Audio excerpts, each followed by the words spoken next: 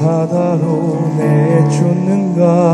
성을 벼랑 끝으로 모는가? 역사여 물어보자. 역사여 대답하라. 저 검은 바다 물결 넘어 기다리는 운명이여 가여운 이 민족을 어디로 데려가느냐. 조국을 마음도 하나 독립을 해방 모르던 뜨거웠던 마음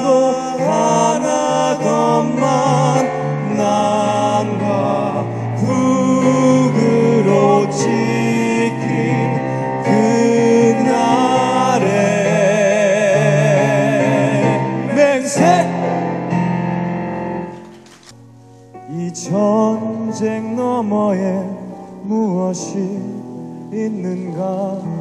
우리는 무엇을 찾아 떠나나?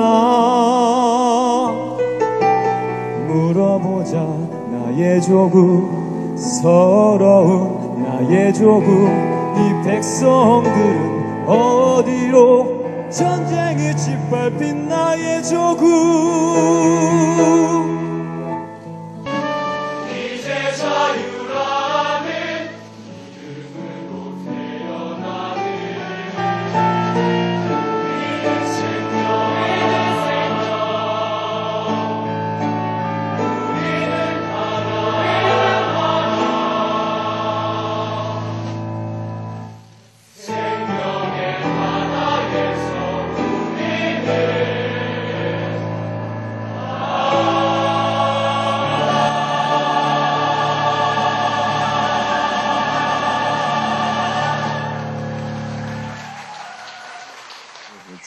중, 중기는 동갑 내기 친구고요. 네, 그전에는 이제 서로 뭐 작품이나 이렇게 만났던 적이 없는데 워낙 성격이 좋고 와서 워낙 활발해서 조금 혼자, 혼자 늦게 와서 좀 마음고생하지 않을까 싶었는데 어, 계급은 제일 낮은데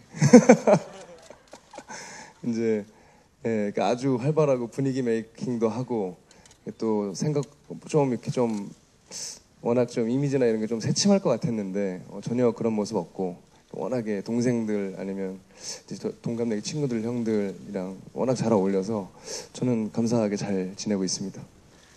사실 이게 사회에서 정말 편하게 만났으면 참 좋았을 텐데 예, 제가 저희 이번에 뮤지컬 팀 중에서 제일 계급이 낮고요.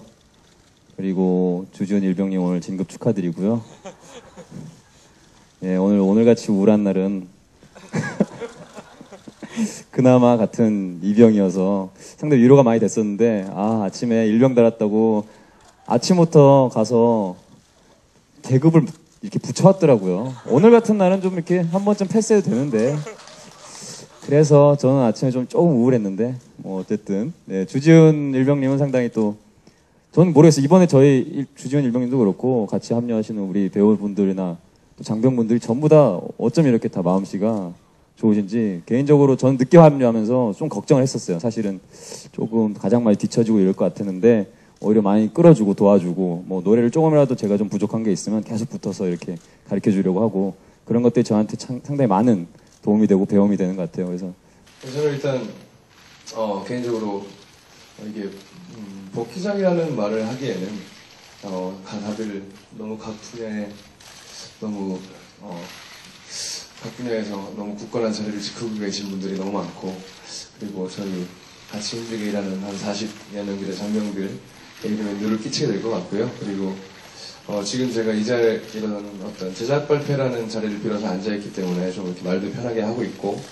어떤 단어 선택도 편하게 하고 있지만 어, 배우의 입장이라기보다는 저는 지금 음, 한 명의 그냥 장병이고 어, 군에서 하는 어, 군을 그러니까 국가를 위한 어떤 일에 참여를 하고 군인으로서 참여를 하고 있는 거고요. 아, 그리고 그, 그런 마음으로 참여를 해서 어, 더욱더 열심히 하고 있고 어, 예 그렇습니다. 또 이렇게 좋은 의미의 어떤 군 내에서 어, 작품, 좋은 의미의 어떤 작품을 같이 어, 참여하게 된다는 거에 상당히 큰 사명감을 느껴요. 그래서 어, 많은 분들께 또 어, 정말 군인으로서 군인으로서 정말로 어, 국가 자체의 어떤 기념이 될 만한 한 작품을 하게 되는 거에 있어서 상당히 뿌듯하게 생각하고요.